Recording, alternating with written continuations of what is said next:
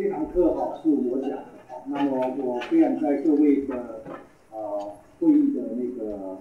议程里面是说宗教对话与比较宗教，那么当初我的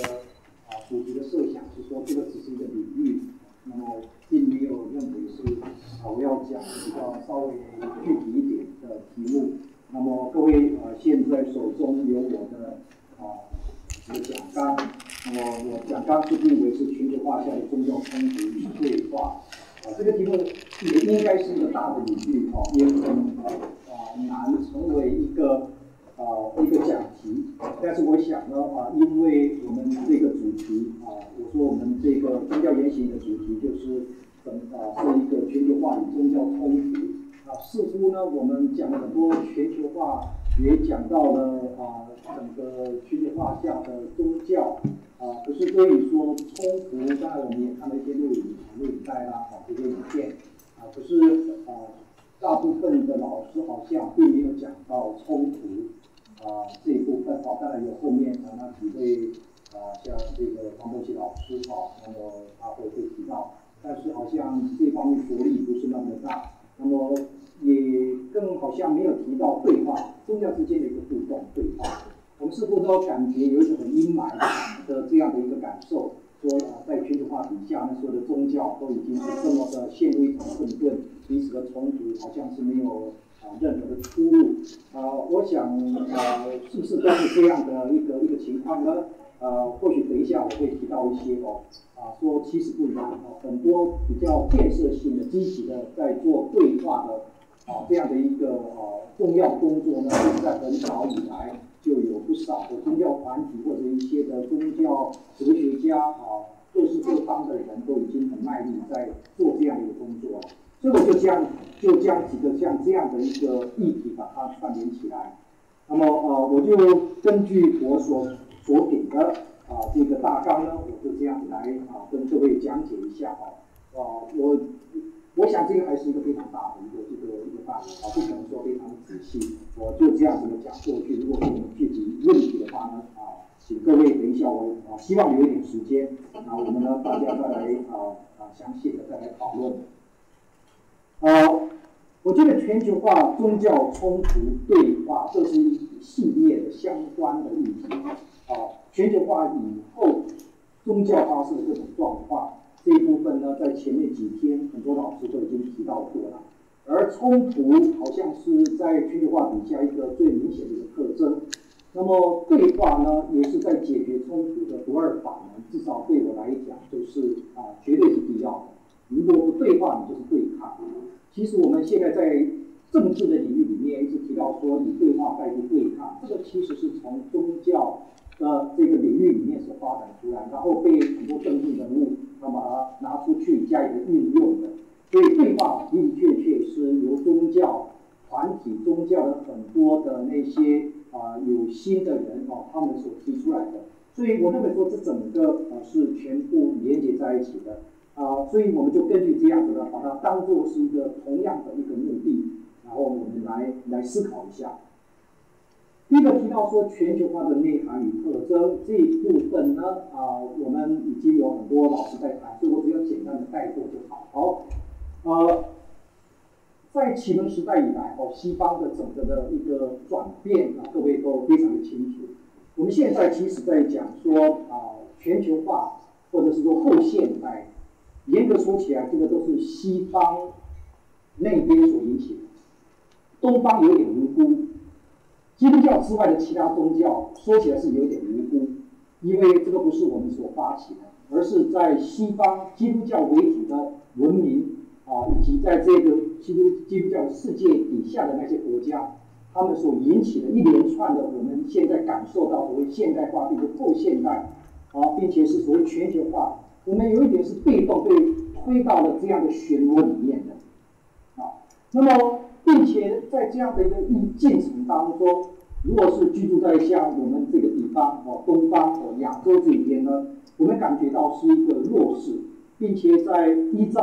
啊我们最近的啊近代的这个中国历史，我们是受到的一个殖民，所以感受到是一种屈辱。那么这样的一种的最呃呃负面的、最情绪化的一种感受啊，就是在 A 多萨义的那个讲到连统的时候这个是最明显的。好，啊，你如果要来解决现在中方啊这个呃这个所谓伊斯兰的问题，你如果不从整个他们的在最近这几百年来的那种亲身经历的感受，不解决这样的问题的话，我想整个的一个冲突是非常难得到因啊有一个正面的一个结果的。所以这个是一个西方列强一个殖民的结果。那么跟西跟这个有关的当然是科技发展。那么当然我应该还列出好多了，还有比方说我们提到的资本主义、消费主义像这些跨国公司。这个都是在啊全球化啊从启蒙时代以来这样的一波又一波，并且是越来越密集所造成的一种现象。啊，这个是第一个，我觉得说在历史的背景上，我们在探讨全球化是没有办法来跳脱的。啊，那么啊，我跟各位就提示到过，说在这之前，大部分呢都是由社会啊学方面的学者或者人类学的，那么他们那边所做的基本上是比较一种。横切面的一种分析，所以比较少考虑到说整个历史累积的那种厚度，所以在分析、在综合观察的时候，他们比较习惯于把它整个的画面当做一种镜子的一种状态，然后在里面呢看出来说什么样的一个结构啦，或者是怎么样的一种的所呈现出的一种啊一种模式、一种 pattern、一种模式。所以他们比较少重视到说整个事情会演变到今天呈现在你的面前是好像是一个静止的图画，其实它背后好像是一个考古的累积层一样的不断的这样子的累积到现在才有这样的一个情形。那么我们要做的啊，对于我们做宗教历史的、宗教史的，我们就是要好像在去做考古的工作，一层一层再把它挖掘出来，然后才能够看出来说，其实今天的情形。是以前的好长的一段时期里面所累积的一个结果，所以这个是我们在从人文角度来看的话，你不得不重视这个历史的一个厚度的。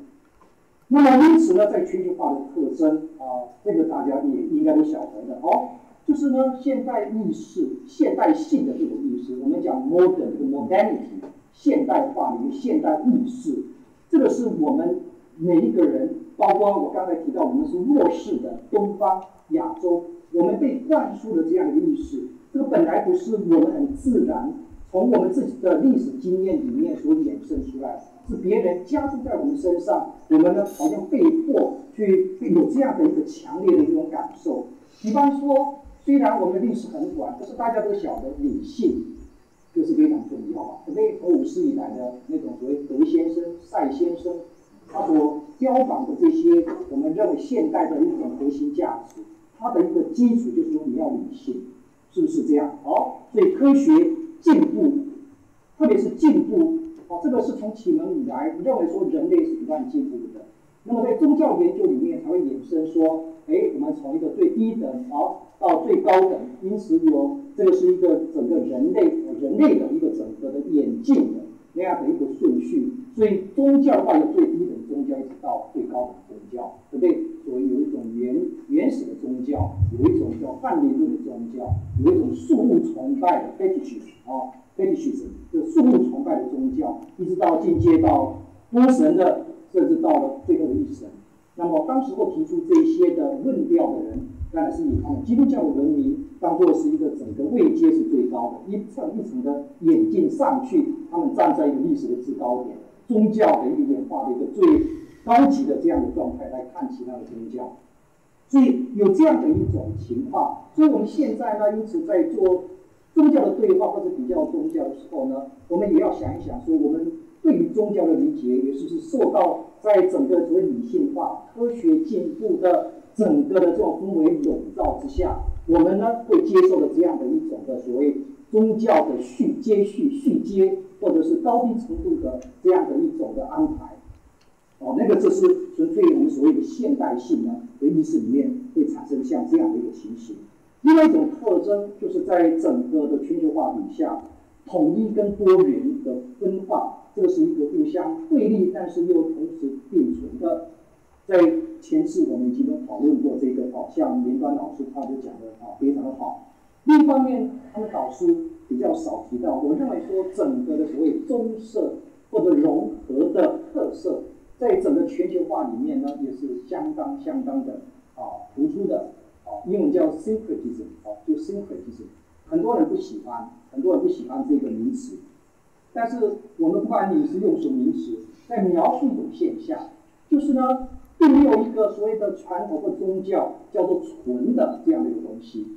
就像我们的文化一样。好，我们呢现在你说吃吃的就好啊，很多人都喜欢某个方面，你喜欢这个西点，另一方面你喜欢中餐的方式，或者是怎么样？你用呃这个呃虽然是就是是西餐，但是你用的是是是用筷子在吃，要像这样子的，这个是一个非常俗化的，我们可以看得到，并且大家都经验到的一个日常的一些经验，所以好多的宗教也是这个样子的。变成了一个说从这个地方拿一点，那个地方拿一点，为了你这个现实需要，你在家里的一个把它整合起来。有时候是有意识的，大部分是没有意识的，像这样一个状况，所以它变成你中有我，我中有你，在整个我们现阶段的这个所谓的这个全球化的一个世界里面，好，你们可以发现这样一个情形的哦，像这些的特征，我想哦，大家应该是很清楚，好。那么，因此呢，全球化底下所衍生的一种现象，结果很多可以发现说有一种张力。那么一般人生存感受就是有一种不确定或者被拉扯的这种心情，或者说这样的一个感受，就是在刚才所提到说，因为全球化底下有一种统一，可是另一方面呢，你又要争取说你的主体性，所以有时候中央跟地方的一种对立。或者是正统跟异端，那么这个话在宗教的领域里面特别的，你可以感受得到。因为呢，新兴宗教起来了，那么新兴宗教有很多，绝大部分的都是从某一个宗教这样子的啊衍生出来，所以会变成说啊，那它就是异端，它就是不纯的，或者是它是一个棕色主义底下所产生的一个新兴宗教，那么被他拿去的，就是说你偷了我的版本，你你拿着我的什么，就会用一种呢异样的，或者是一种呢轻视的眼光。就会产生一个属于正统跟异端的，或者是一个普遍跟特殊的啊，这种是 universalism，这个 particular 位置，像这样的一种的对立，一种的张力存在，这个是一个非常啊，大家可以感受到的。那么另一方面呢，最主要的就是人会感受到这样的一种不安，是因为你的身份已经变得复杂了，不再是你以前可以认同的，很快的可以指出来的，所以你有一个认同的危机。好，宗教的功能很多是认同，这个从古尔干，啊，他们在讲的宗教社会学，我们在前几个里面讲次里面，很多老师都提到，的确是一个认同，它是宗教提供给人一个安身立命的这样的一个基础。当你的这个基础呢摇晃的时候，当你还在被拉扯的时候，你就不能够确定说你的身份是什么，所以呢，你会觉得说，哎，到底呢，这个我信的。是不是可以相信呢？怎么现在是这个样子呢？或者说，哎，另一方面他提出来的也不错啊，或原来的可能没有这个新的好，所以你在这个地方犹豫哦，犹疑的，所以这是一个认同的啊，一个一个一个呃一个危机。那么这个发生在群体，发生在个人，这个各位都可以啊观察得到。所以这个最主要的就是一个界为，怎么样再去重新界定人。无论是你个人也好，或者是一个群体也好，都需要一种身份认同。而这个从一个宗教人类学的角度来看，就是人需要一种界定。好，非常有名的呃这个呃人类学者啊，就 Mary Douglas，好，他在解释说人的啊一个一个社群，哦都需要一个名确定的界。所以呢，他可以分说，比方说日本人的社会，啊跟其他不同的种族的社会。呈现一个非常不一样的地方，他们是内聚力很强，所以呢，他们可以用语言来规范。所以各位在座啊，懂得日文都晓得。好，你如果是一个外人叫 g a i z i n 你要讲日文的话，他一听就晓得。为什么？因为他这个界位非常清楚，每一个人的一个给予你的身份，大家上下左右男女，他们都非常清楚。你讲话用什么的话，好，各位就学你都提过敬语，对不对？好，你用了什么样的敬语？你一听的话就晓得。那么呢，他一听到说你讲的对，他就觉得哦，他是外人，啊，是来自那个混进，所以呢，他可以呢容忍你。啊，但是呢，你呢，如果是在你们里面的人，你讲错话，觉得这个非常失礼，啊，非常失礼，啊，这个是呢，啊，这样的一个的，啊，一个一个一个团体里面有一个他这样的界那么呢，如果是戒围受到侵害的话，哎，整个就发生了一个危机。好，它需要一个巩固这个戒围非常清楚、明确的。可是，在全球化底下，这一方面呢，却是一个问题，却是一个问题，戒围是一个问题。好，这个等一下呢，我们在谈到全球化这个宗教的时候，会再提出来。好，好，那么这些是全球化的一个大致的一个情形。我们在过去几天呢，很多人在谈这个，所以我就简单这样带过。在这个时候呢，我们再来谈说全球化底下的宗教啊，宗教的特质啊，我从事一个宗教研究者的一个立场，我的观察可能跟啊其他的社会学者或人类学者有一点不太一样。我还是非常强调说，对一个宗教的理解，你不但是一个观察者，你呢还是需要当做一个内在的一个。你不一定要感受，但是你要越趋近宗教经验者的经验来论述它的时候，比较能够贴近我们所认知的所谓宗教是什么。因为宗教的主体在于人，没有宗教人，你就不可能产生宗教现象。一个人、一个社群、宗教社群所产生的，他们所表现出来的宗教现象。那个现象本身，很多社会学者、人类学者很感兴趣。可是对于我们宗教研究者来讲的话，我还是非常的强调说，在这个现象的背后，主体那个才是我最关心的重点。你现象可以分析，但是你要知道现象的一个来源，这个是才是一个重点所在。因此呢，我如果大致的来划分说，你要我怎么样子的来描绘宗教的话，我不给一个定义，定义定义是相当难的一个事情。但是呢，我们可以做 description，做一种描述，而不是一个 definition。你要来界定的话，往往会出现一些问题。但是我们这样的描述之后，是不是大家可以来按照你的经验来说，这个有它的一个实在性在里面？比方说宗教的特质，我会从一个比较内敛。我觉得这宗教是主观的，这在我们要做宗教对话，这个是一个很重要的一个认知。宗教确实是主观的，另一个叫做客观的宗教。当你说好，我觉得这个宗教好，这是代表着一个主观的一个认定。我觉得那个法师呢，他非常具有魅力，别人不一定这样想，对不对？宋七力一般外面人看说那个是骗子，骗了那么多人。被法院宣判无罪的时候，或者在于他审判的时候，外面他的那些的信众是多少人在那个地方，在那个地方来支持他的？一出来以后，每一个人先发线上去，然后认为说，哎，你看被骗了。他说没有，我没有被骗。你还需要多少？两千万吗？再给你，是不是？这个是一个主观的，坏人不能制作。那么这一点的话，我们需要认识到这一点。宗教有它的终极性，意思就是说宗教。宗教它有它的一个最根本，也是呢，我们说超越了我们人的世俗的一个价值的系统之外，你很难用一个可以来取代它的。很多宗教都是这样。那个那些的自杀的炸弹客，他为什么是这么愚蠢吗？他如果是说在他的一个生存的最底基，他认为最终极的那种价值被否定掉的时候呢，他是绝对不能够忍受的。宗教是这样的一个东西，很多人是一辈子，为什么他要出家，他要放弃所有的一切，能够投入？他难道不晓得说过一个物质上的好生活是一个非常诱人的一件事情吗？哎，他有一个终极，他有一个终极是不可替换的，不可替换的。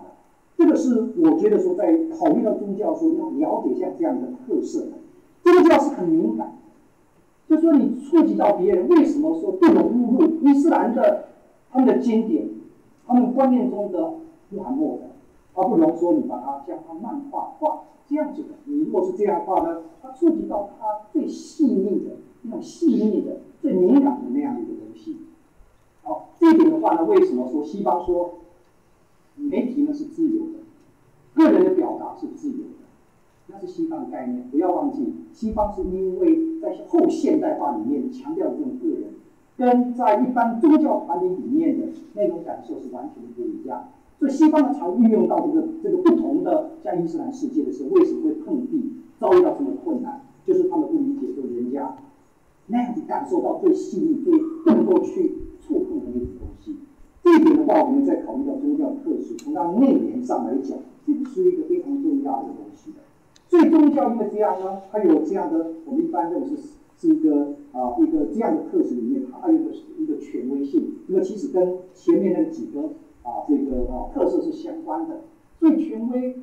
是因为他在这个里面，他感觉到说这个有一种力量能够加在他身上，所以对团体的一个认同，团体对他一个权威，对戒律的一个遵守，戒律对他是一个权威，对于一个领导人，宗教领导人一个尊敬。因为那个人对他有种权威，这种权威东西你没办法看得见，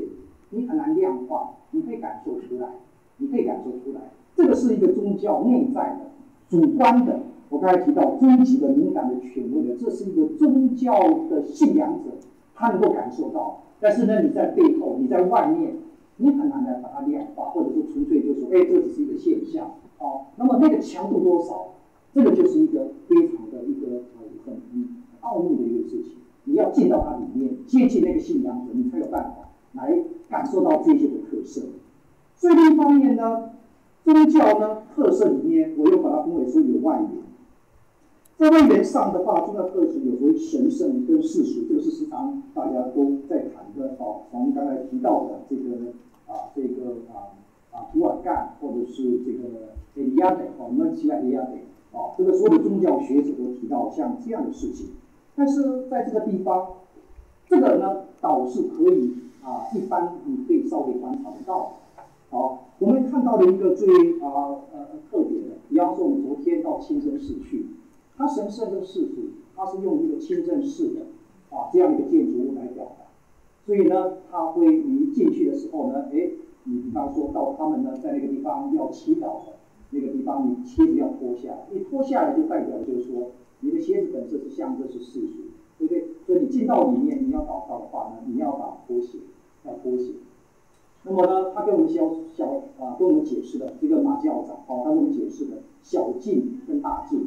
这是神圣的事实。所以你这个当做一个参与观察者，你可以看出来这个水龙头是干嘛的啦？哦，那么这个厕所里面那些的设备是干嘛的啦？对不对？你可以看出来，他是了解它的一种概念，就是这个捷径的一种概念。刚才提到的一个 Mary Douglas，他就一本书非常好，叫做《捷径与危险》（The Purity and Danger）。你呢，这个是一个捷径，是一种概念，一种界限。你呢，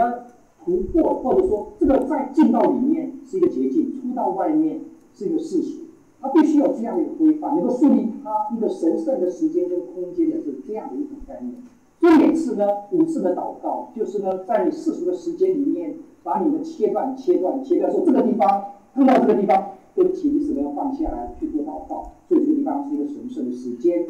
然后呢，要祷告的时候，哎，进到这个呃清真寺里面，因为你在那边祷告的话，你受到的一个福气是更好几十倍的。所以呢，大家进到里面，那个是一个神圣的一种空间。哦，这个也是的。所以呢，这个呢，它在主观的一种认知里面呢，你可以你可以观客观的外在可以观察到。呃，但是呢，这个是一个非常明显，大概几乎是所有的宗教里面都有。就好像你去圣家，他说你前面的那个可以可以进去，但是对不起，那个最前面的整个的那个最核心的啊，你可以讲是一个仪式活动最中心的地点，一般他说抱歉啊，你不要不要不要去。所以这样的一种的认知也是相当重要的。很多宗教冲突就是呢，它侵犯了那种神圣的一个空间。好多我们举的那个例子太多了。这种神圣的空间被侵犯以后，就触及到你最敏感、最神圣的东西，然后呢，整个冲突就爆发出来。所以我们对这些东西要要要非常的理解。的。另一方面呢，宗教一定有它的文化性，一定有文化性。我们在介绍很多的世界宗教，看起来都有它的核心，没有错。好，我们还是以伊斯兰为例，我们在讲说这个伊斯兰呢，有它的。啊，特征对不对？像他们所的这个武功啊、六性，这个最基本的。好，那么呢，佛教里面也提到很多是圣地啦、八圣道啦，像这些十二因缘啊，这些最原始的佛教里面来突出这个宗教传统里面的这些信仰。这个或许有它的普遍性，但是不要忘记整个宗教的表达。我们刚才讲过，它有个特性都是很抽象，表达呢显现出来的宗教现象，一定是一个文化。界定一定是文化界定，你用来表达你那种宗教情绪，一定是透过特殊的当地的语言，当地的语言，再把它转化，配合你当地的一个生活的习惯，把它表达出来，所以呈现说一个同样一个宗教，却是一个五花八门的。所以你在谈这个啊伊斯兰，你大概不会认为说沙特阿拉伯的伊斯兰信仰，那跟马来西亚昨天蔡英文教授讲的那个会一样吗？绝对是不一样，因为族群不一样，你用的语言不一样，对不对？不过当然伊斯兰是比较特殊哦，他们的经典的不可翻译性，所有的仪式上话绝对用阿拉伯，因为那是天启的神圣的声音，哦，就好像非常呃传统的很精要的犹太教，他们认为说希伯来是不可翻译的，所以你把它翻译成了啊什么中文的旧约什么什么，他们认为那是失真，翻译是失真。好，可是基督教的话呢就不一样了。基督教他认为最重要要传递的是里面的那一行那个精神。可是呢，这个经典本身可以翻译，所以基督教的圣经是全世界所有宗教的里面翻译的版本是最多的，一两千种的不同的翻译。可是每翻一次，就表示呢它被诠释过一次，然后呢整个差异性就来了。这就为什么所有的宗教里面，你如果要我。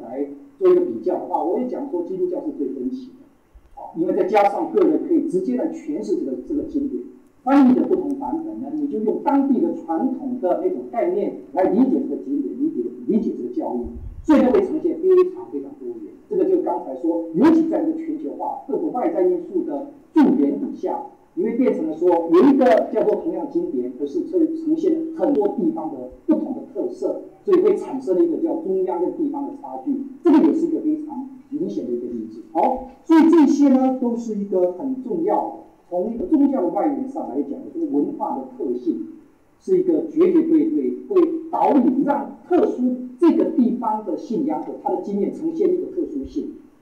那么在不同个的人的经验不一样的时候呢，你再怎么样的要互动，就产生了很复杂的一个因素的。好，这个我们要考虑到像这样的情形的。那么从外缘上来讲，我还列出了一个，就是说宗教有它的一个封闭跟包容，这个也是跟前面呢都息息相关的。宗教一定要有一个包容性，特别世界宗教，否则你没办法传，你没办法传。问题是你要包容到什么程度？天主教说我们祭祖可以接受，昨天那位先生一直在强调说他跟中华文化是多么可以巧妙的结合在一起。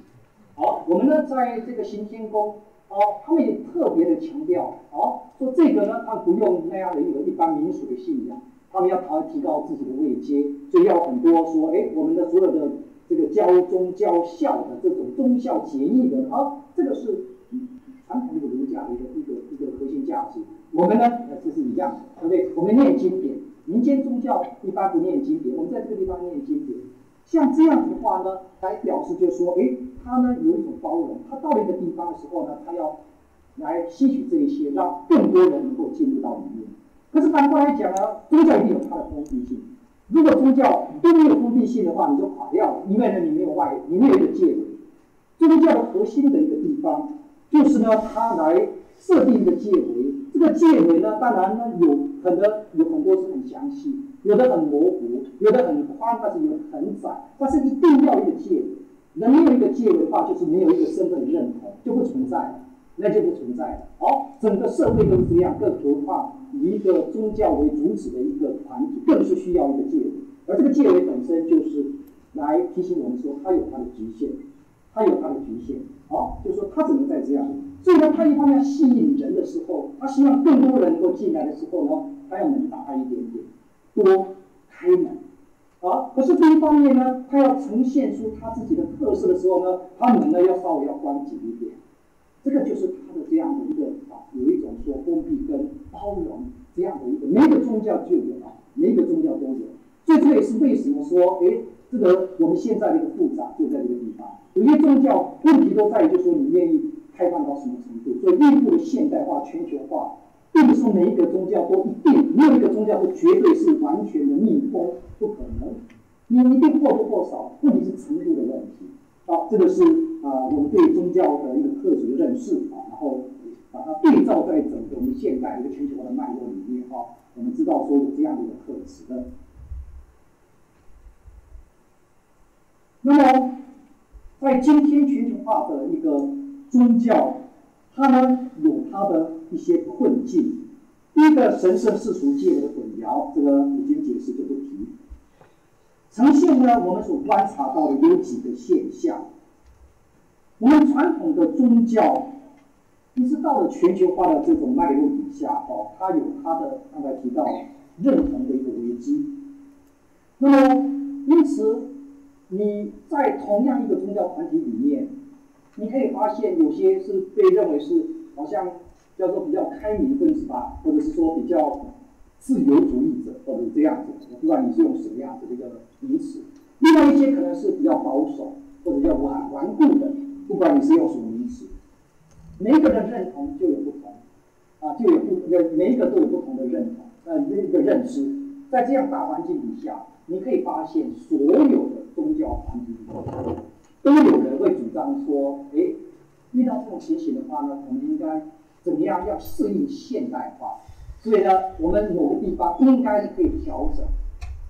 好，另外一批人就是说。你这种呢是背叛了我们的信仰。我们传统就是因为有什么，然后呢我们才维持到现在。你如果是这样做的话呢，等于是出卖、违背了我们这个一个一个一个我们的一个核心价值。所以呢，就产生了很多的分歧。现在的传统的宗教，特别是世界宗教，你可以发现说，因为这种认知的不一样，所以产生了许许多多的一种分裂的一种状况。好，那么因为是呃分裂，所以产生的在两个，你可以发现，就是在全球化底下，一般大的宗教或者一个宗教传统里面，或一个宗教团体里面比较保守的那些信仰者，会有浓厚的挫折感。现在呢，很多人感觉是无可奈何。你如果仔细观察，哦，你去那个地方，他呢很喜欢他的信仰。他觉得这个是他安身立命的一个一个根据，可是他觉得有一点说非常腐败。好，现在你可以看出来，在基督教会，在天主教特别是，啊啊，我在上学期啊，那在上呃这个去年后半年，我在波士顿，波士顿那个地方，各位都晓得是美国一个文化很重要的中心，啊，它那个地方爱尔兰的后裔呢特别多，所以是信仰天主教，好，而天主教。在那个地方有许多非常很富丽堂皇的那种啊，这个这个建这个这个教堂。现在问题是在于，就是说这个教堂呢，根本很少人去。现在上教堂的人真的是太少，而且去的话都是一些老人家。所以那个地方是在卖教堂，在卖教堂。天主教呢卖卖的更起劲，因为再加上呢，他们很多的所谓信丑门啊，哦那些的。啊，这个神父然后所以引发的问题啊，所以更是没有人愿意上教堂。所以呢，一个莫大的这样的一个大教堂里面没有几个人，他们维持不下去啊，所以要把它卖掉，把它卖掉。那么有一些的这个我们说中心的或者是一个传统的这个天主教，他们心里那种感伤，真的你也会很同情啊。这个老太太的老老老先生，然后就就说习惯礼拜天就去做礼拜，现在都没有人。然后呢啊，他们会讲，现在年轻人不来呢，现在年轻人不来。他就维持不下去，就要只好关门，然后卖。啊，不过那个价格都不得了，因为你不能拆掉的重建，都是上百年了，但是都好像是一个啊一个博物馆似的那样哦，我看一般人也买不起，所以呢就是这样闲置在那个地方。哦，啊，你如果愿意投资的话，可以去啊去去，把它买下来。啊，是。另一方面呢，很多人认为说我们要适应这个现代化，适应这个全球化。那么呢，对传统的做法、保守的作风很不以为然。这种人呢，很容易就是在另立新的宗教。所以现在的好多的什么新兴宗教运动、新兴宗教现象，好，都是呢从旧的这些啊的这个呃这个传统里面呢，在啊分裂衍生出来。所有的新兴宗教没有一个是新的，因为你所有你说你再新再有创意。我们都可以找到说，你的每一个的所有的创意都是有它的它的来源，都是一个历史的一个一个产物。没有一个宗教叫做新兴宗教的，我们只能说那个所谓新兴宗教是从某个宗教这样提出的。好，你可以这个是绝对啊，绝对的，因为这很简单，所有的这个宗教都要经过特殊的一种文化语言来做表达，有一种象征符码在那个地方。不可能说你讲一个完全大家不晓得的，要人家来相信你，这是绝对不可能的事情。你一定是要用大家部分熟悉、部分有一种新奇，这样把它结合起来，你才有所谓的卖点。啊，这一定是这样，所有的新兴宗教都是这样的一个情形。所以呢，在现在当代的宗教会变成了说，你传统的比较老的宗教，你很难来有这样的活力再持续下去。然后呢，比较有活力的都是一些比较是新兴的宗教，新兴宗教这这方面的。好，所以呢，这个也配合了很多啊很多这个市场的概念。我们在呃呃昨天呢已经提到过说。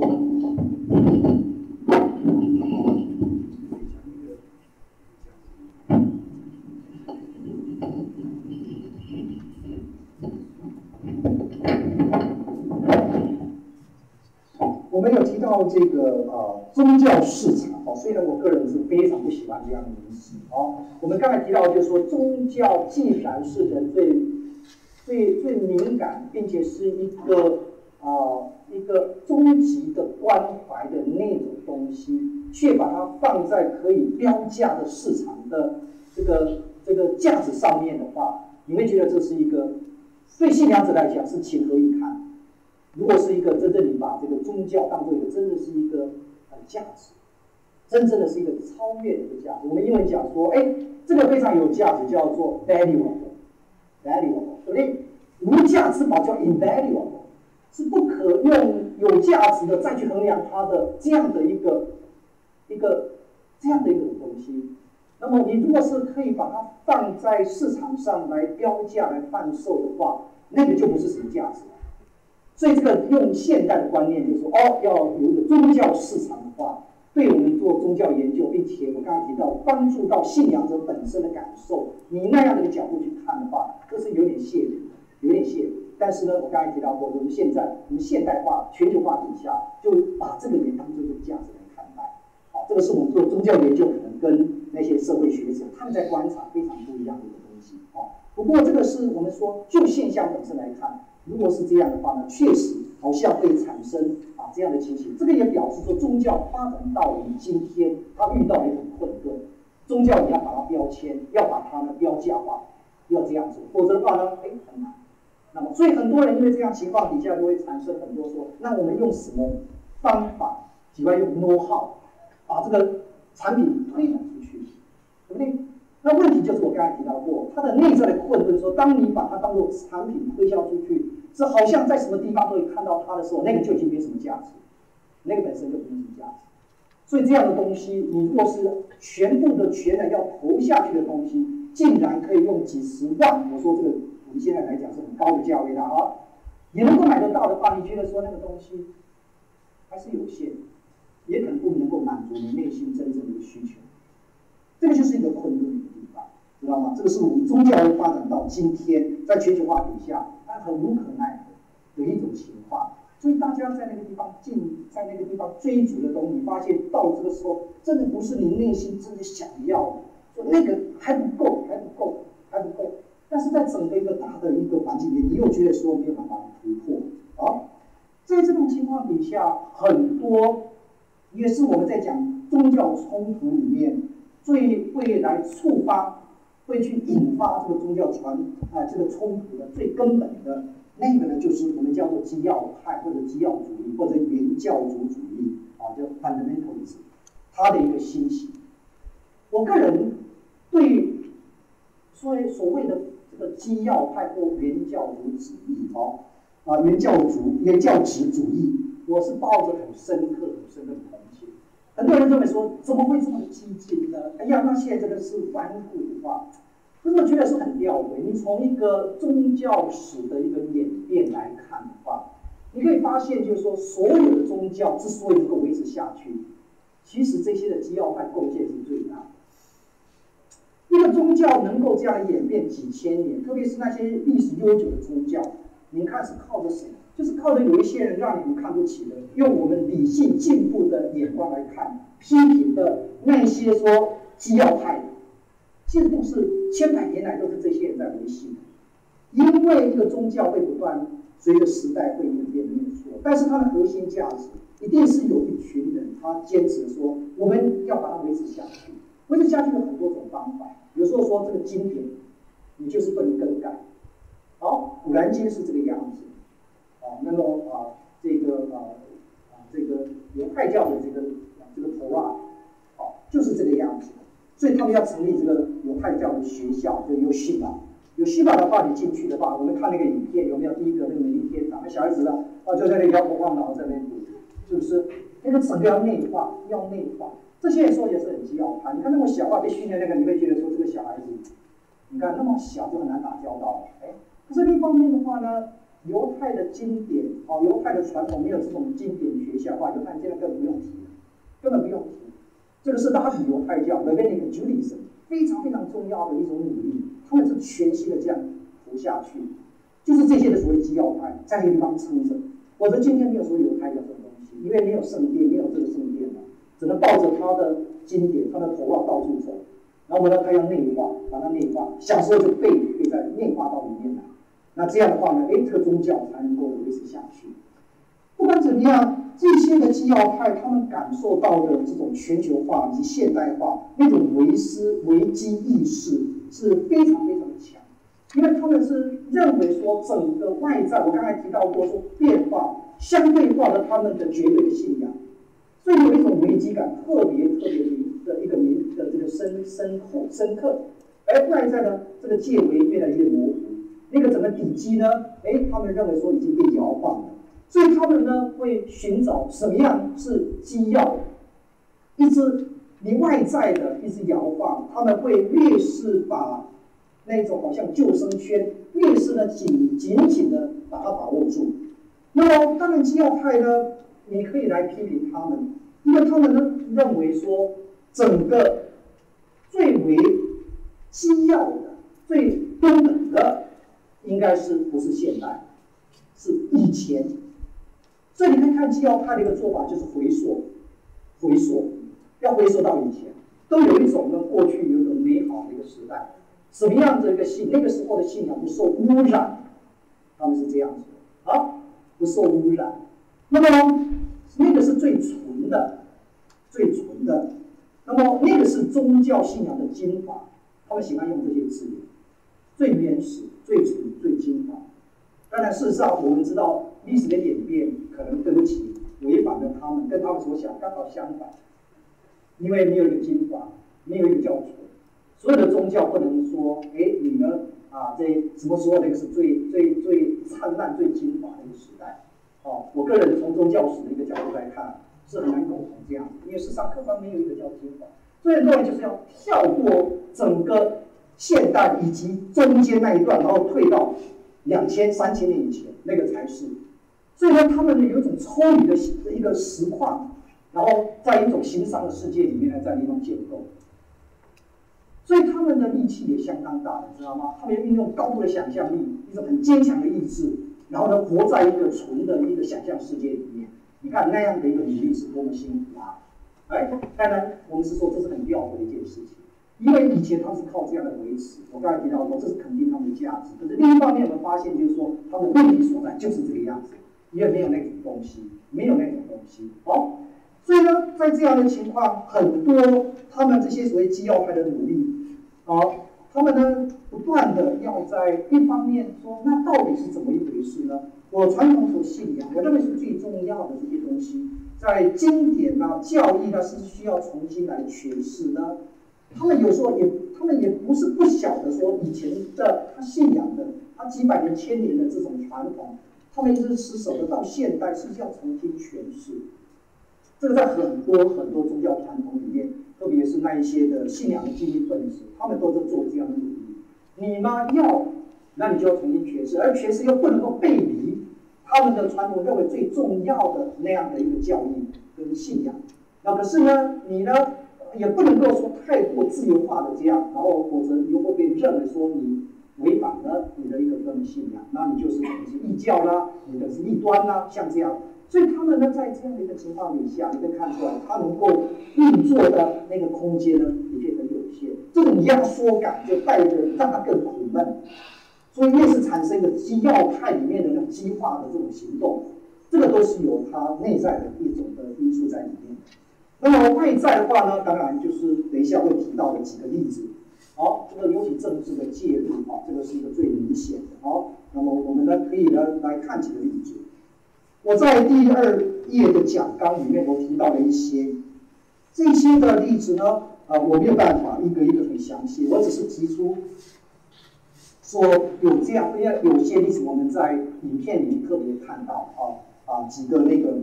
那我呢用这些来凸显一下说。宗教的冲突很多都是从这些所谓基要派或者原教旨主义他们所啊这个啊这个你可以讲说你不客气的话所谓的麻烦的一个制造者啊，或许是这样子。好啊，可是另一方面我刚才提的说，那他们的困境我们要从一个内在他们信仰的主观的感受里面有一种同情式的理解。好，那么在这个地方提到的是啊有几个好，那么呃。犹太教方面，哦，啊，我呃很简单的来讲一下，这个犹太教的一个演变呢，是大概是从也是从启蒙时代开始以来，哦，他们一个犹太教里面，他们叫做哈斯卡拉，啊，就是 Enlightenment，哦，哈斯卡拉，哦，从那个时候开始来，他们遇到这种现代化，很多的理念，犹太教里面，他们就在那个地方说，我们到底是要来选择说，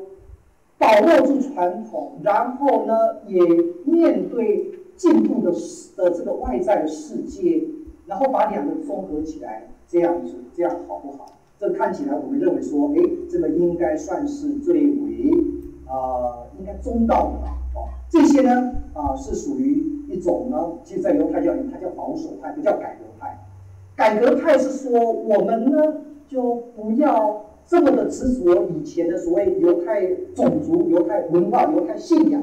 把它呢。三个，我们到今天的有一个，我们一直在谈到这个 nation state 国家国族主义的时候呢，我们把它分开来看。我犹太人是种族，我居住在荷兰，我是荷兰籍的犹太人。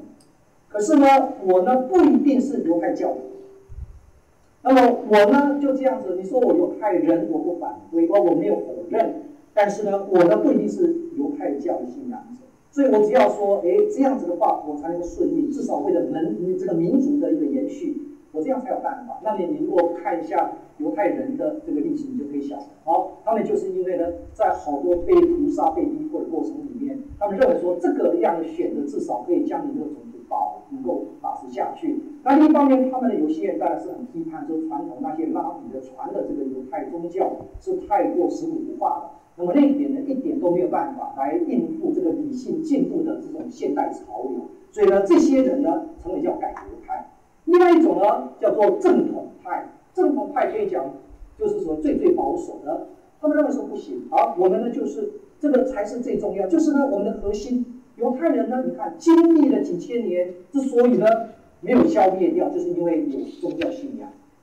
所以不管怎么样呢，哎，我们有所谓的。呃，那种我们中国传统就是从中学为体，那个体有那个体哦，把它把握住的话呢，就不怕外在的环境是怎么变化。所以你在影片里面看到像这样戴着个高帽子哦，就是留着两鬓的那个胡子哦。那么我们在这个美丽天堂里面也看到了，啊，他们有时在哭墙里面，在那地方诵经啊什么，这些呢，基本上都是一些我们所谓最正统派的啊这些犹太人。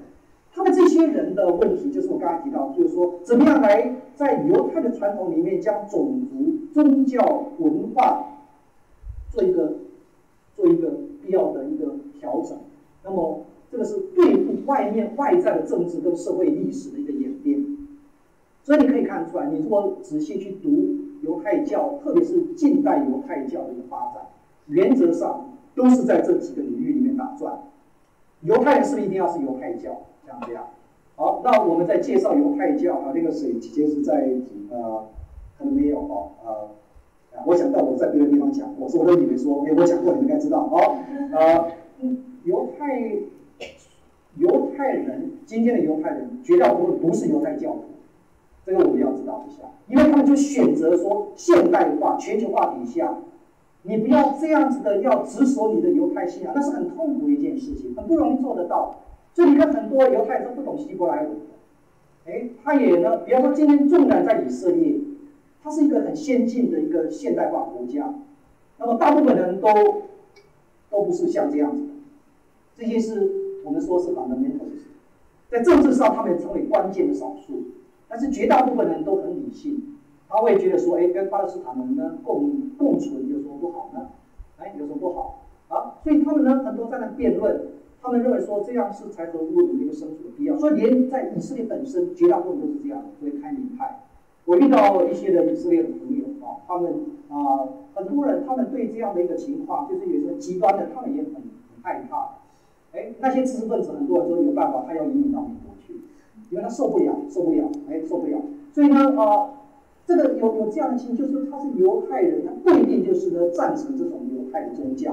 啊，是有这样子的。好，那么呃，这个种族、宗教、文化，他们需要说把它的分开来。当然，犹太人他不信犹太宗教，但是犹太人的习俗，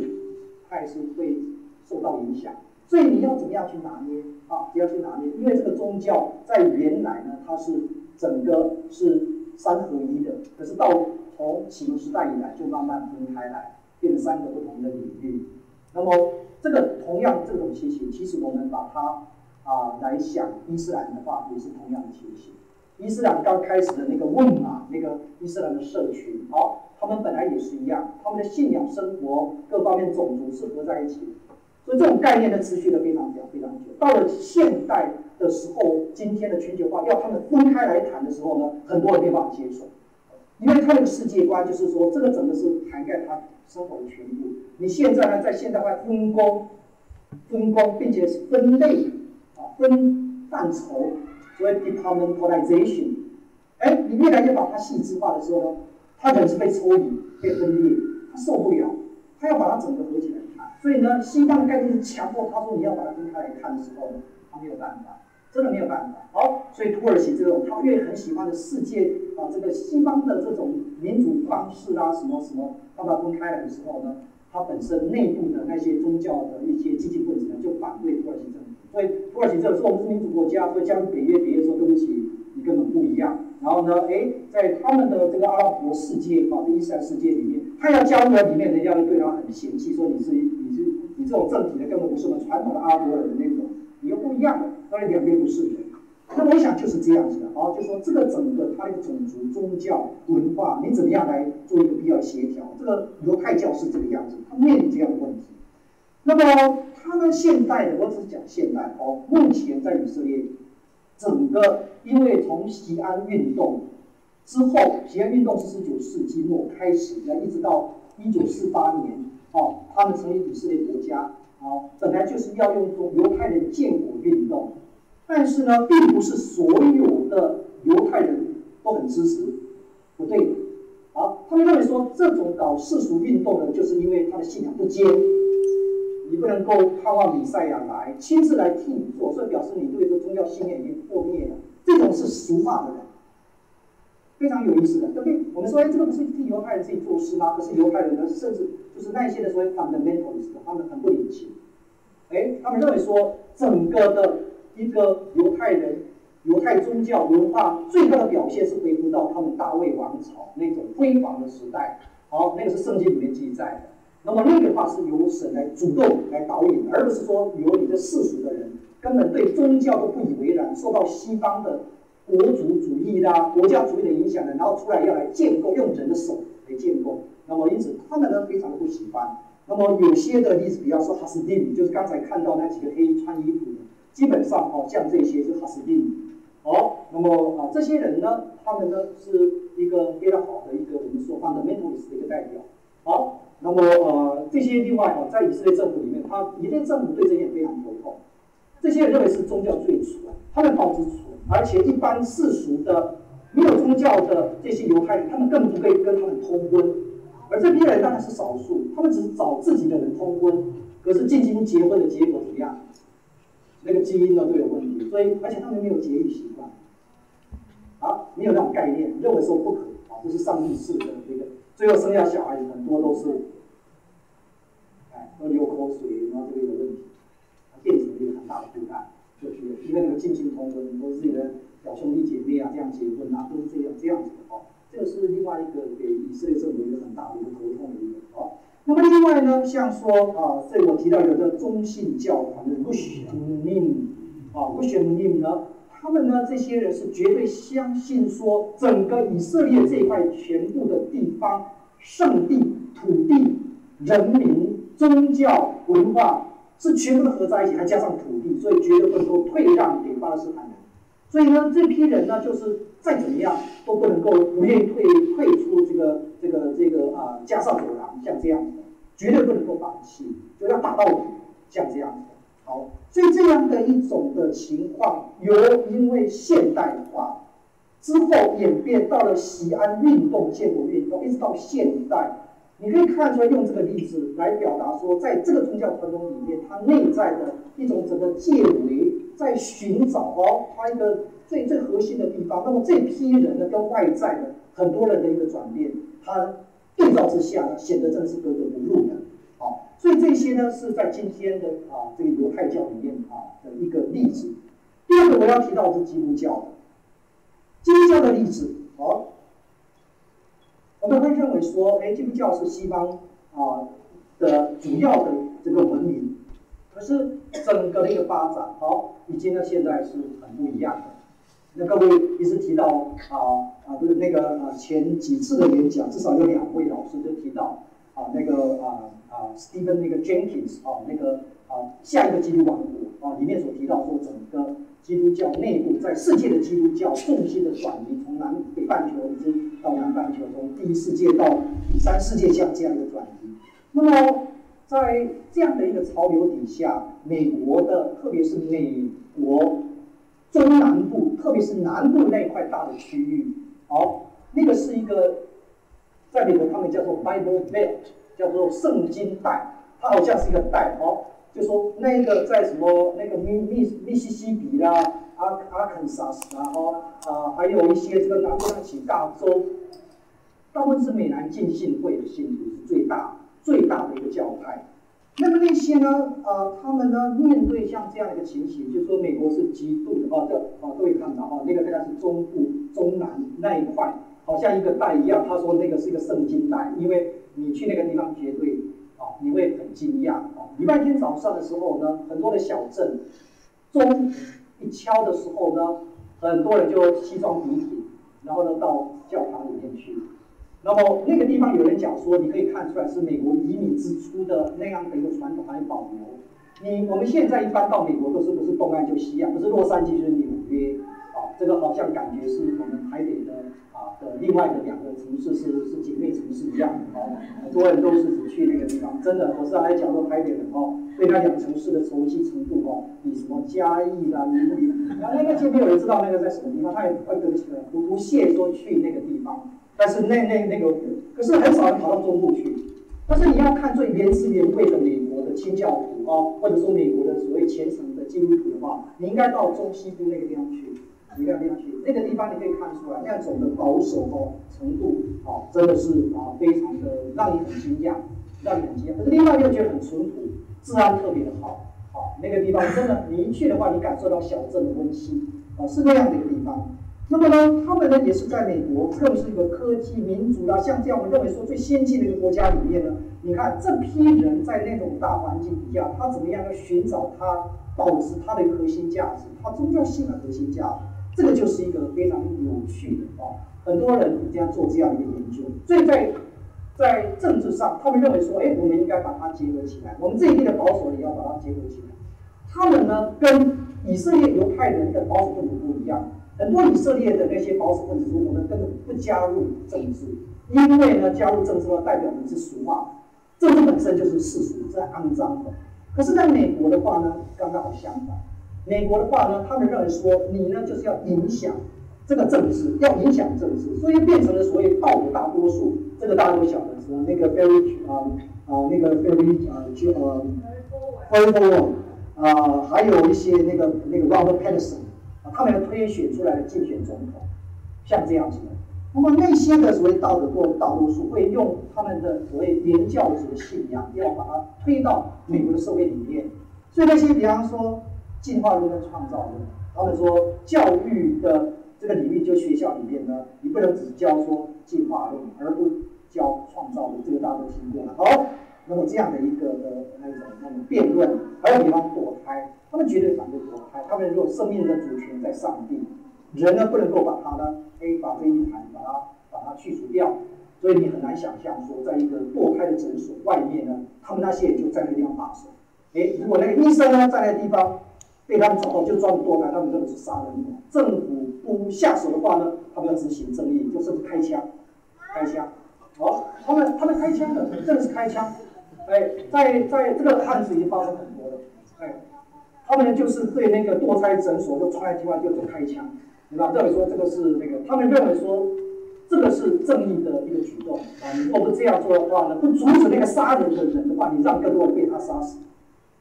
哎，是这样的。那在我们台湾，我们是觉得不可思议啊，觉得不可思议。那但是呢，他们会有这样的一个一个这样的一个推理跟主张。还有我刚才讲的政治参与也是，这些的道德大多数啊，在美国人数虽然说不是很多，它力量很大，因为呢，他有他自己所谓最可最先进的那种宣传啊，有他的一个一个一个论坛所在，那么有他一定的影响力，所以很多的那些议员啊什么都要买他们的账，买他们的账，这个是在基督教里面啊是一个很啊特别，但是另一方面呢也是我时常啊在美国那边看到啊。那么伊斯兰的话，哦，我想，啊，我不要按照一个一个这样，我时间会不够。好，我只能举一个，就是说，在啊，昨天因为啊，这几我都看到伊斯兰的例子呢特别多哈。那么蔡元林老师哈也也跟我们讲了一些。那么在啊，整个说起来哈，逊尼派跟什叶派都有原教旨主义，这是绝对。任何宗教、任何派别里面都有那一些的最保守、最顽固的。好，并说实验派就特别的激进，不是这个样子。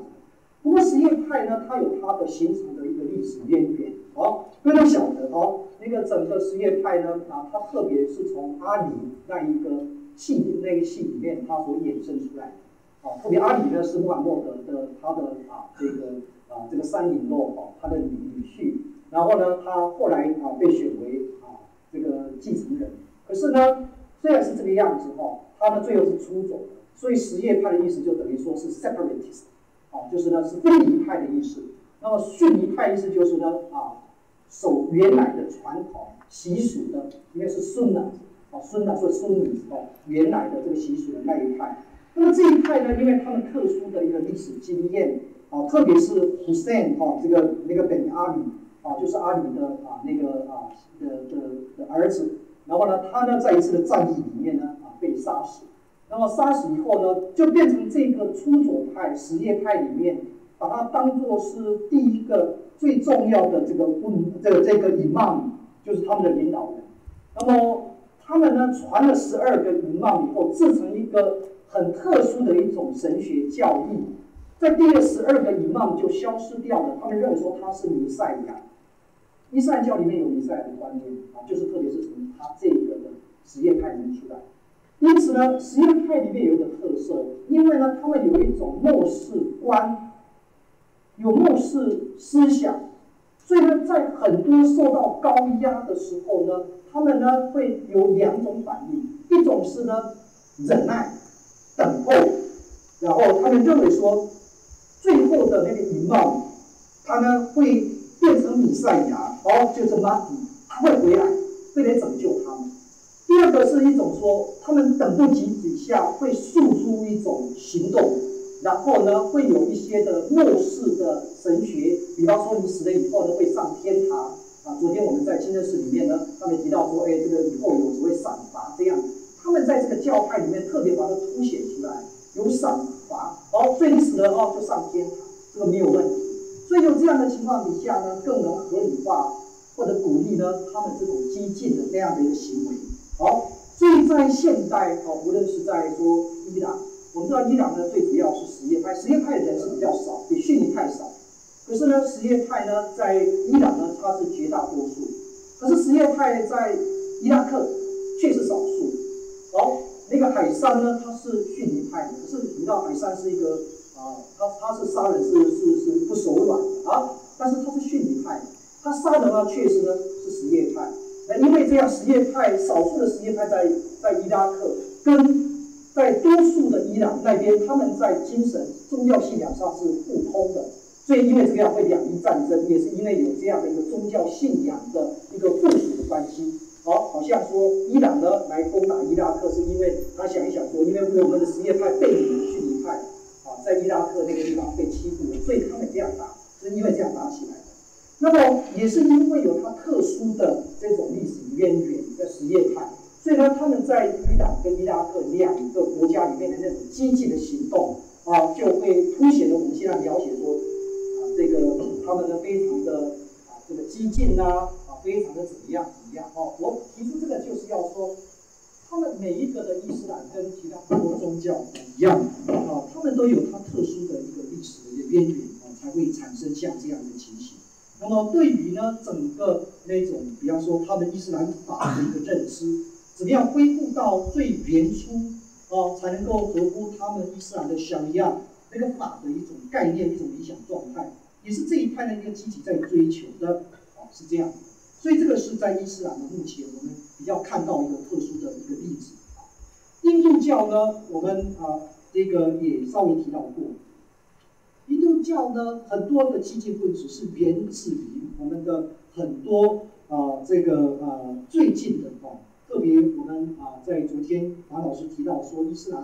啊的那个印度教徒跟伊斯兰教徒啊，当然他也提到说，尤其在啊这个印度的西北部啊。啊，那个像拉加斯坦啊，或者古吉拉特那个省份啊，那个很多那个地方呢，这个锡克教徒啊，跟印度教徒冲突啊这一类的。但是现在呢，我感觉最主要还是呢，从英国的殖民啊，这个印度开始，印度的知识分子开始来思想说，我们被殖民，我们要保持我们的印度文化，我们的宗教信仰。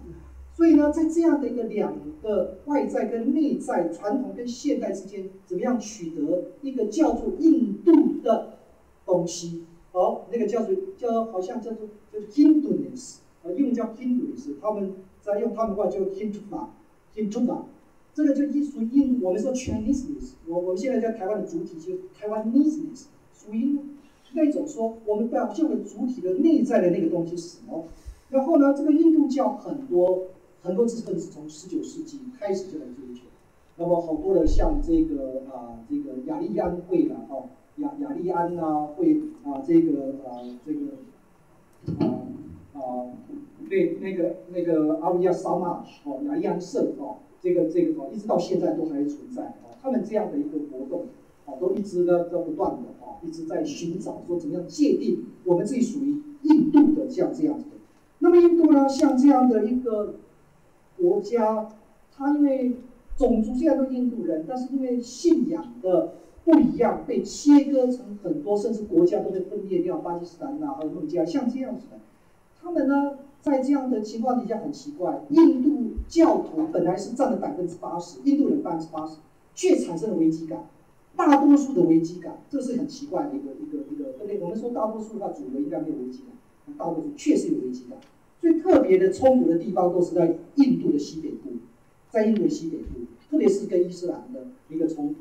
那么再加上很多的现代，因为是民主政体的关系，为了拉选票，最终激化的那种印度人意识、印度教意识这样子。所以特别我们提到像 BJP 啦那个印度人民党，哦，这个就是一个你在看他的影片啊，这非常可怕。我那个整个竞选的那些政客哈，他们煽动性呢非常厉害。他时常在讲说，我们这个就是要保持我们印度的啊，那些不是印度教的吗，我们不是说不喜欢他，我只希望说他们要服从多数，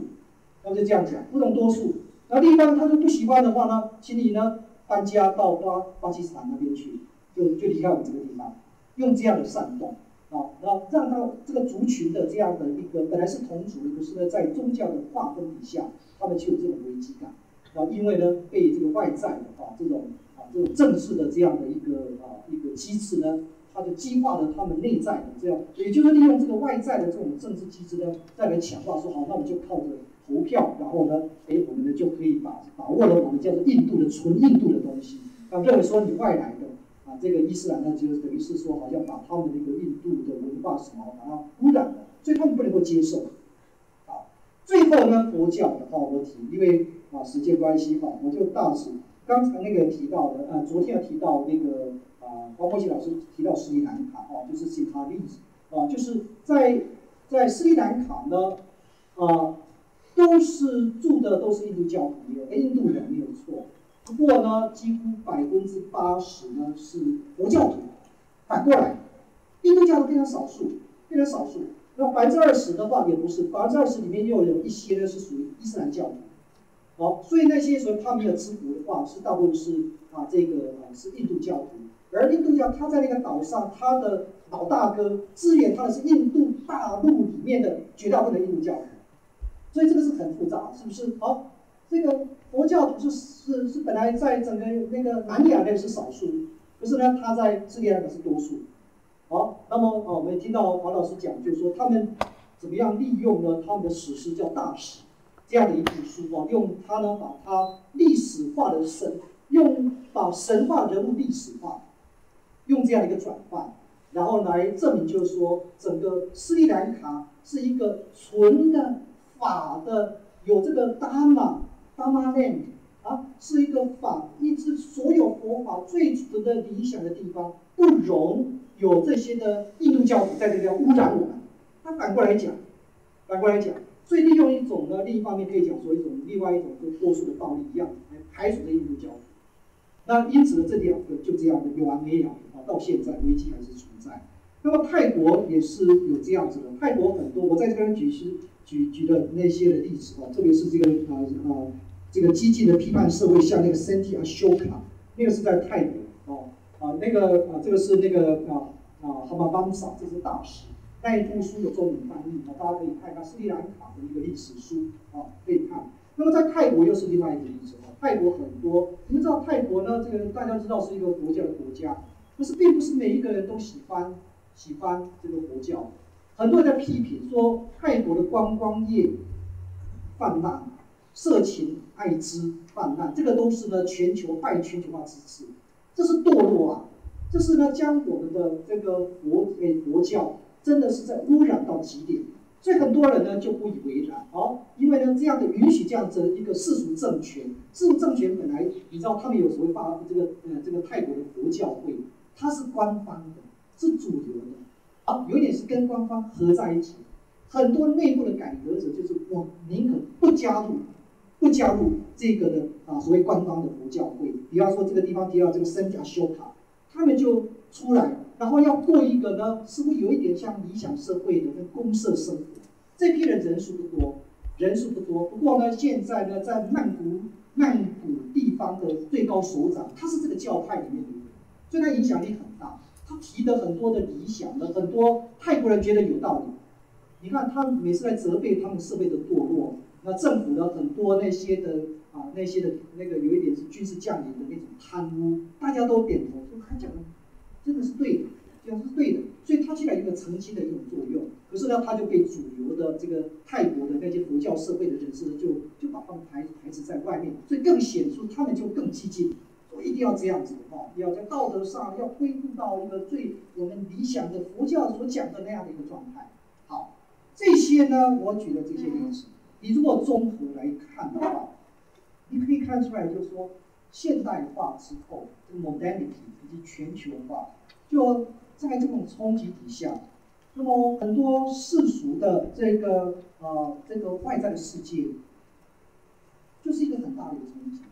这我时常在想说，有人问说，哎，我们现在说的宗教，有时候彼此之间好像有不同的冲突啊什么，但是最大的问题就是世俗化的问题。就是其实每一个人都在一个很不稳的根基上，然后彼此在那地方在打架，这是很奇怪。就让我想起一个游戏，就好像在那个在河流里面，我们是那个木头在滚动吗？我们在那个滚动，你在地方站着站不，可是大家在那地方还要去打拳击，我都不知道怎么打。哦，每一个呢现代化就是好像这个潮流，每一个人站的那个地方就不断在滚动，所以共同的面对最大的问题是整个河流不断变动的这样的一个根基。那是很多人呢，有时候呢，啊，似乎没有注意到这样，而且看到对方的仇人就在对方，然后呢就要一一场要打过去。很多宗教冲突呢，好像是忽略掉这一点。好，那么另一方面呢，在做我们综合的刚才举的这些的啊所谓的 fundamentalism，他们的共同的特征，也是说在整个啊这个面临的民主社会跟宗教信仰的冲突。在这样的一个大环境底下呢，整个宗教被认为是一个私领域的一个东西，不再是一个大家说可以合起来，因为你习惯了说你讲话大家听得懂，你的宗教的基本的核心价值别人能够分享，到现在他认为说那是你个人的事情，所以在这样的情况底下呢，你被压缩，被退到了一个角落，这个是整个啊那个面对，就是宗教冲突里面大家的不安里面，我想一个很重要的原因。另一方面呢，宗教冲突的不同噪音。你的内在方面是这样的感受，可是外在的，你可以发现呢，都是因为有政治因素呢在里面，或者是强化了某些种社这个种族的或社会，就是因为外在。今天的好多的冲突，并不全然是说因为它内部就冲突，各位都可以想想象得到。昨天我们到清真寺，他跟你讲说伊斯兰的原始意义是什么，就是 surrender 顺从。顺从意思就是什么？要达到和平，因为你和平，内心呢才能够安稳。本来伊斯兰的目标目标就是这个样子啊。可是为什么我们外在看他们说，哎，他们是很很非常强悍的，而且是很血腥的？为什么会有这样子呢？啊，因为是外在很多外在的那样的一个政治因素。特别我刚才提到说，现整个西方的殖民政策、帝国主义，我觉得是要负很大很大的一个责任。觉得是这个样子，在那个所谓理性进步的这样的一个情况底下，啊，所带来的文明有社会，其实呢，到现在我们看起来，回想起来，可能是灾难还还来得多。好，这个是一个我们在了解这个话题要知道说有这种情形哦。好，那么很多的信仰传统中的基要的坚持，哦，另一方面你也可以看出来说这批的尸骨化，因为他要坚持它，也不能晓得怎么样来转换运用，所以才是会这个样子。最后你可以发现说，这些所谓的保守跟激进，其实一体两面。很多你认为最保守的，在今天的基要派里面，它变成最激进的。当然，本来的意思也是一样的，radical 意思 radius，这个拉丁文的 radius 本来就是 root 根根，所以激进的话本来是最基要，这个这个意字根都一样。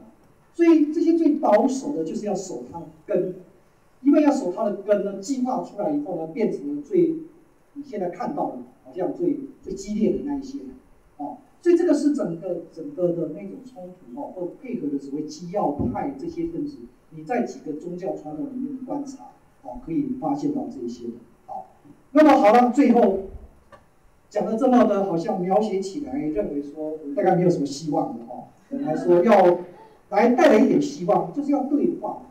要对话。这个对话呢是一个大的主题，我一下子没有办法讲。那么我只能用一些比较啊呃现在在进行的啊，或者说值得来当做一个参考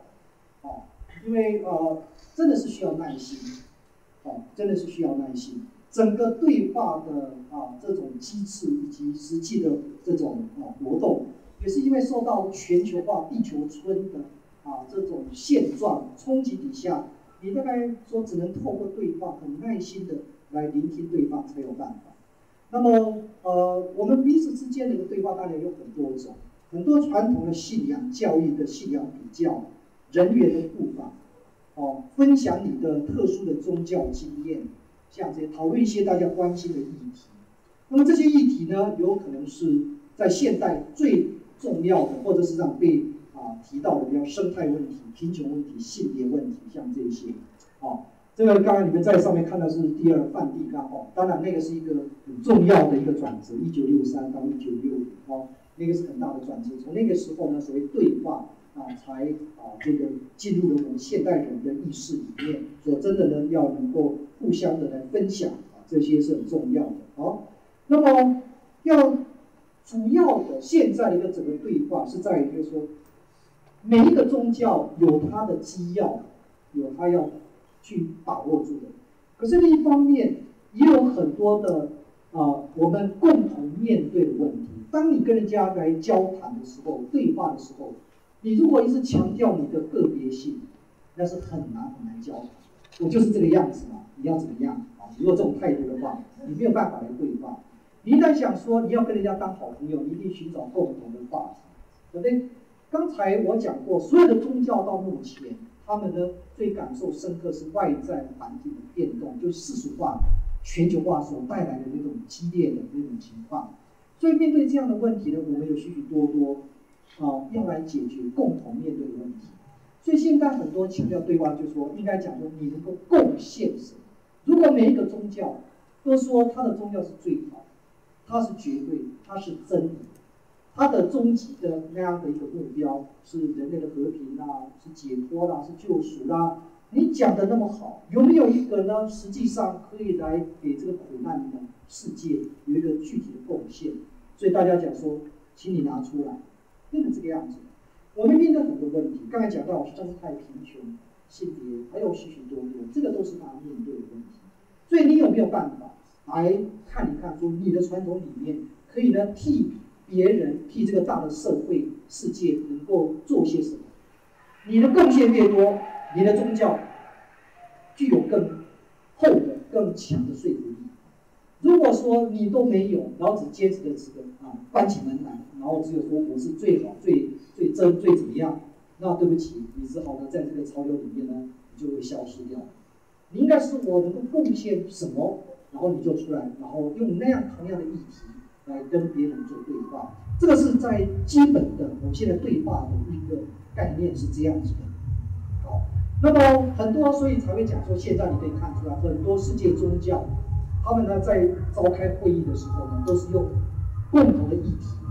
来做一个交通的对话的一个基础跟起始点。所以这个也是一个非常实际啊，但是也是非常的重要。好，就是从正面来讲，而不是就是说你把你的原来认为重要的私，本来是私人领域的，你再把它转化变成公共领域。并且是能扩大到这世界上各个宗教都能够啊来来来参与，啊，因此呢，这个就需要很多层的一个转换，这个不容易的，最不容易的，为什么呢？很简单，所有最保守的话呢，最最没有那个机会面对外面，不愿面对外面，所以现在一旦呢来挑战你说你要面对外面，将你认为私人最好的拿到外面的时候呢，他们有时候会傻住你，会傻住你。所以很多人在开玩笑说，那些去参加对话的话都没有具有代表性，知道吧？因为呢，你去跟人家讲的好好，回到家里面你就被修理。对呀，对，你你怎么？你说会跟那个那个那个他根本他在讲什么？哎，你在外面你很开放啊，你很很很这个开明，你回到家里面的话，人家讲说，这个他，哎，这个这个不是这样，也就是说他回去以后呢，往往他反而是在团体里面的边缘。哎，这个是一个一个议题，一个一个非常重要，一个哦很很很平常的一种现象。好，那么我在这里面列出几个，我现在也很难一个一个有时间来讲哦。像甘地这个大家都晓得，甘地啊，然后呃他的非暴力啊什么哦，那个再过来这个马丁布格，这是犹太人。那么呢，他他的很多灵感是取自于啊犹太人在中古的时候，特别是十六世纪开始十七世纪。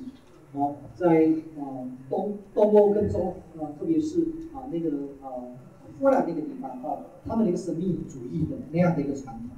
他从里面学到说怎么样要人跟神之间的一种密契的亲密的关系，把它转换成说我跟你，整个全球就是我跟你的关系，不是他，他的话呢是一种距离感，是一种呢排斥。我跟你，I am 道，我跟你，我跟你，那么那样的一种亲密感，是从他的宗教最神秘的亲密的体验里面，把它转化成一个我们现在对话的一个一个认识，一个基础。好，所以这样的一个贡献是非常非常大，非常大。哦，虽然他那个啊，现在提的提倡比较越来越少哦，但是在二十世纪他影响力非常大。再过来像 Thomas Merton 哦，我拼错不是 Tom Men 哦，Tom Thomas 哦，好，在那个啊。那个白板上那个才对，Thomas Merton，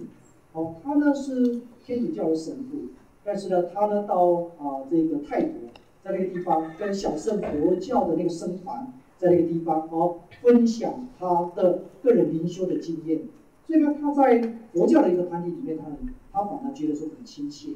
你可以发现，就是说你把他你个人的教义、你个人的组织那种藩篱，你把它拆除了以后。很多我们的宗教经验是可以互通、可以共享的，可以共享。那么我们可能受到很多传统文化的一种一种分别。好，你你想看看，你想看，你如果生活在一个一个非洲的内陆啊，非洲的内陆，你怎么可能变成了一个啊一个儒家的一个信仰者？啊，一个人生老病死呢，他可能就是在这个地方。那么我们能不能够说跳脱或者撤离的这样的一个啊这样外在文化的一种隔阂，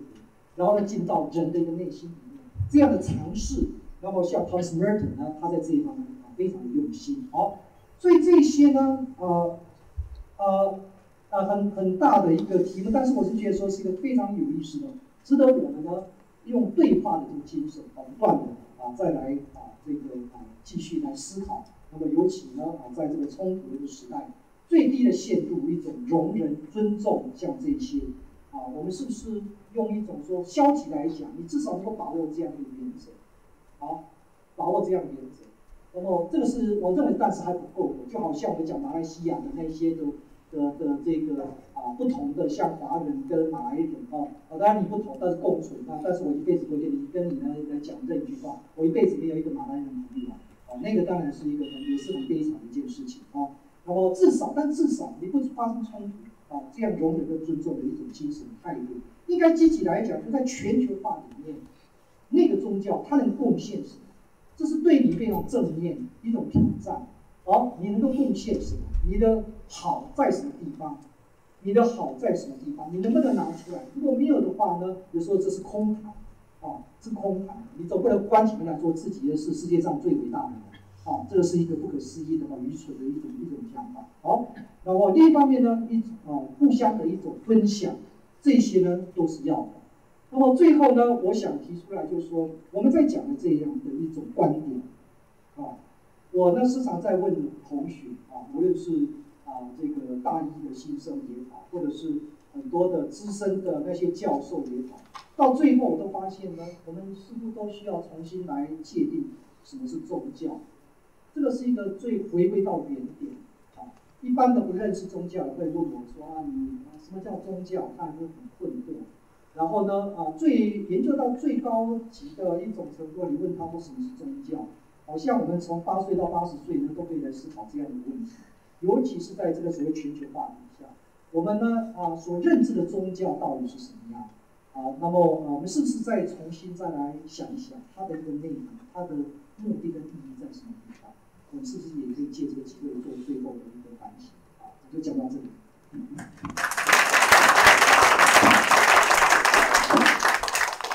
因为我们只有几分钟哦，或许一两个问题。老师，我想请教下哈，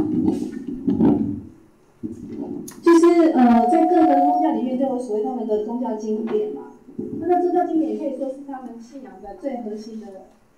呃的部分哈，这是一个，但是在面对这样一个全球化的状况之下。那我们要用多元化的角度来研究宗教的话，那呃，在以这个角度来看待经典的话，我们对这个经典教义究竟是它的一个延伸还是扭曲了？你说如果再重新诠释的话，对，呃呃，甚至是我们做一个研究者，我们用很多的学门方法跟角度来看待它的话，当然我们现在不能够局限在文本了嘛，可是文本是它整个。整个教育的一个核心啊，哎，那如果说我们现在比如说我们这几天有很多的方法来研究宗教，那这样来看，我们对于这个，就说对于那个呃某一个宗教的那个研，它那个经典的研究、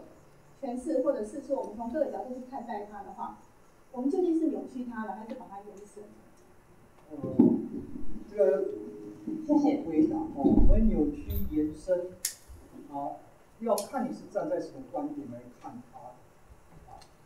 啊，你若坚信自己是对的话，你说这个是延伸；如果有人呢不同意你说，你说他会说你在扭曲，对不对？一定会有这样。因为是不是说是不是教徒的，说是不是是不是硬塞的的那个看法有有很很大的不同。所以所以这个就是一个一个诠释非常难的一个一个问题。啊，啊，犹太教里面最有名的哦，在十二世纪最有名的大学者。有点像我们的朱熹，啊，叫做叫 Moses，啊，叫 Moshe 或者 Moses，哦，Moshe 和 Maimon。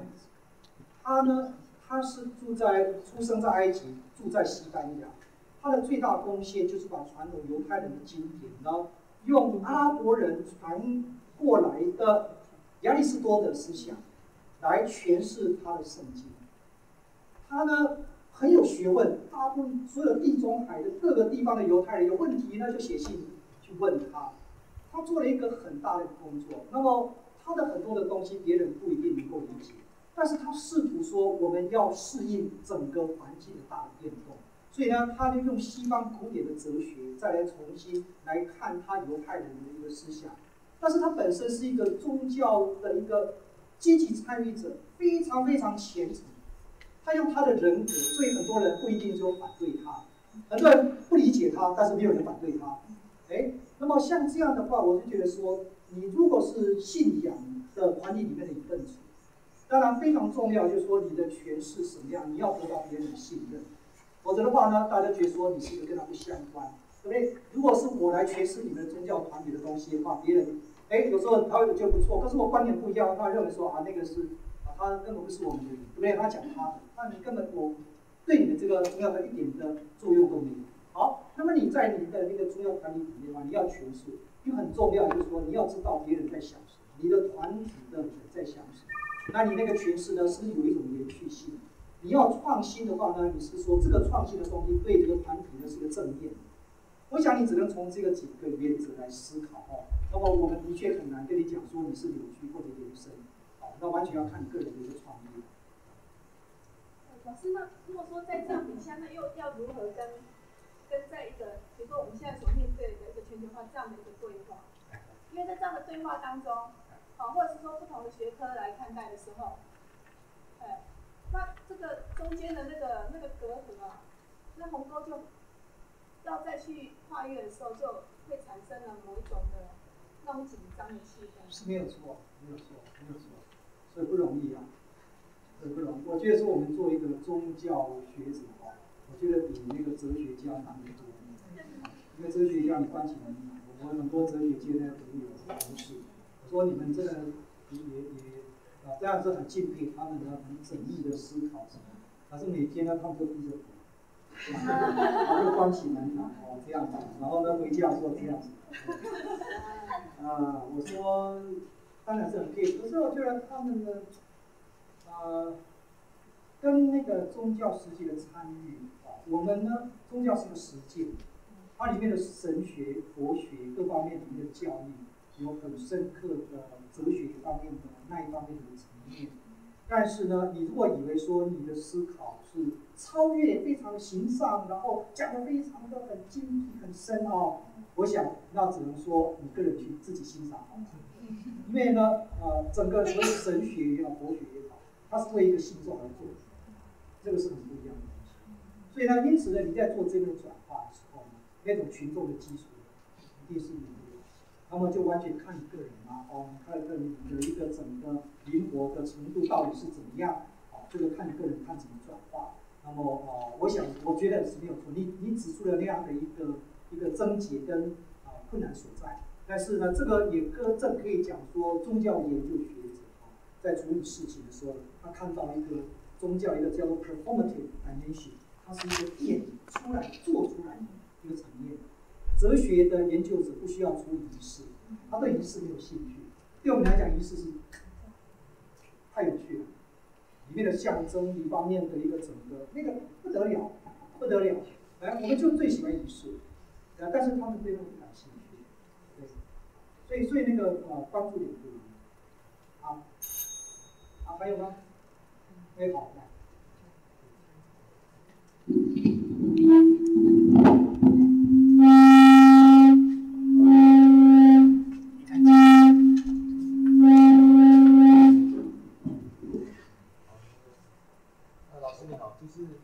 呃，就是我们现在处在这个时代啊，就是大部分人都有呃老师所谓的那种现代性的意识啊，那我觉得很奇怪，就是。呃，对那些宗教啊，基本教义派来说啊，我们觉得我们会觉得说他们的行动非常的呃非理性。那为什么这种基本教义派他能够得到那么多的呃会众的那种响应？跟他们的就他们的市场为什么会那么大？是就对我们这些一般人来说不是很呃，呃，我们那个昨天黄老师也提到说，当你从所谓现代性、现代的历史的发展到我们现在的现代，不要忘记，并不是说你古代结束中古，然后用有一条线，从现在开始注意哦哈，不能够想古代的事情，现在是现代哦，那样不是，所有的东西都是同时并存。同时并存。我想我们不要讲那么大的一个社会的一个演进，你个人的话，你会发现你的观念里面有些是蛮传统，蛮有些是蛮先进的。一个人就那么复杂，更不用讲说是这样的。那么啊、这个所以呢，我们现在啊、我刚才提到过，就是这个现代这种的概念，全球化这种概念，这完全是从西方那个地方他们导引，然后强出在整个所有的世界的所有的人身上。所以对很多人来讲是无可奈何。那我们觉得说，你要来减轻这种冲突的话，你必须要进入到人的内心里面，不同族群的内心里面呢，去了解他们的一个历史的脉络，他们的一个传统的一个累积，而不是说强制说，这个时候你还在相信那东西，拜托，呃，就骂起来，对不对？很多人就是你现在还在研究宗教啊，这是完全迷信，你到底是以后是要干嘛？根本找事的根本找不到，对不对？他们认为说他们这样讲，我们叫做现代，他们叫做进步，啊，我觉得这是很愚蠢。我们现在就是受到这种教育，就是一个很大的一个问题。他不想说人这个事情不能是这样划分，知道吗？不是说理性，然后相对非理性，是这样子的问题，对不对？好，我们人的一个生理的、心理的机能，人就是人，就是有那种东西。你要承认一个，像胡德奥来讲说，有个有一个人是理性，但是一个叫非观理性的一个领域，non-rational，不是 irrational，不是不理性，是 non-rational，非观理性的地方。这种啊，在我们社会里面呢，很多都被抹杀掉了。啊，所以我们现在对美感的经验也好，对艺术、对爱情、对两性，我们那种最与生俱来的那种都，我们都没有被被被被培养，啊，所以变得非常机械化，非常机械化，那才是现在是一个好好好大的问题。哎，你个人就我们可以感受到，更不用讲说世界那么复杂，各种各种族群、各种宗教团体。最后一个有没有？哎，好，最后一个好啊。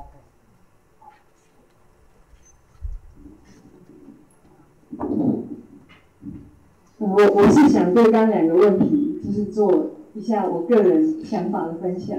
就刚黄同学讲到会说，呃，好像不太理解为什么这些基本教育派人会这么极端，或说，哎，现在这种社会为什么还有人参加这个东西？如果以他们的角度来讲，他们会觉得我们这些很奇怪，为什么他们可以掌握那种宗教最终极、生命当中最重要的部分？他们觉得那是他们生命的完成，而、我们可以放弃。我们觉得，哎，一些很简单的东西就能够满足我们，这样。所以就是说，今天我觉得，其实宗教界要合作一个很重要一点，就是说，事实上我们是相似多于相异。我们相似点就是说，我们对于一个终极的关怀，这对很多人来说可能是生命当中最重要的东西。对，这是我对黄同学的那个回应。然后，另外第一个同学的这个问题就是说，我们对一个文本的再诠释，会不会去扭曲它，或抹杀它，或是对他来说是一个延展？我觉得对呃文本的再诠释，它就像一把刀，它可能会呃杀出一条新的血路，也可能就是说把原来很好的传承给斩掉。但是我还是比较赞成，就是说应该从不同的方面来诠释。所以像我们宗教会发展出来宗教心理学、宗教社会学，或者说宗教哲学，就是说我们可以以比较以一些比较现代的一个呃，就是说研究的领域，再去重新看我们宗教的东西。以我的经验来讲，我觉得可能我看佛教的原点，我不是那么了解。可是我如果从那个西方心理学他们的研究来看，因为我可能更了解这个传承的好处。那这样就好，我现在在练气功的时候，我如果叫我去看什么太乙精华秘旨啊，他们讲什么乌兔啊，什么什么之类的，那像他们可能看不懂。可是我如果来，我如果来看中央大学，诶、林孝忠老师，他用那个流体力学的东西来解释这个气功的原理，诶、我可能会比较容易去接受。所以我觉得就是说，呃，因为我们现在已经处在一个不同的时代、不同的氛围里面，那有时候可能原始传统的诠释已经没有办法去切入，我们可以去了解的一个角度的时候，诶，或许我们在诠释可能是不是去扭曲那个传统，而是帮他杀出一条血路这样子，这是我个人的看法。谢谢。好，那我看时间呢就到此啊。